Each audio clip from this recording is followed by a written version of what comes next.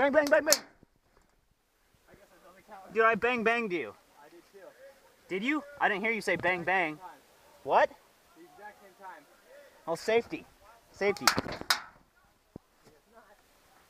Are you not gonna call that, dude? Do you want me to shoot you in the face? So right here is a good example of me losing my temper a little bit. An enemy player ran right up on my position and was way too close, so I safetied him, and he chose not to honor the call and instead ran away.